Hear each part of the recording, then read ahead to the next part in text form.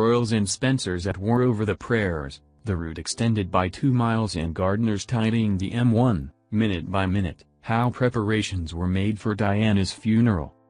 They were the seven days that shook the world, from the death of Princess Diana to her funeral at Westminster Abbey.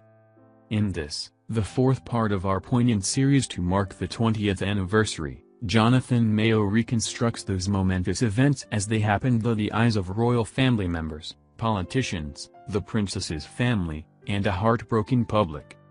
There has been a great deal of speculation that Elton will sing at Westminster Abbey on Saturday. Elton's spokesman has denied it, but in fact lyricist Bernie Taupin has written a new version of their hit song Candle in the Wind and the words have been sent to Westminster Abbey to be printed in the order of service.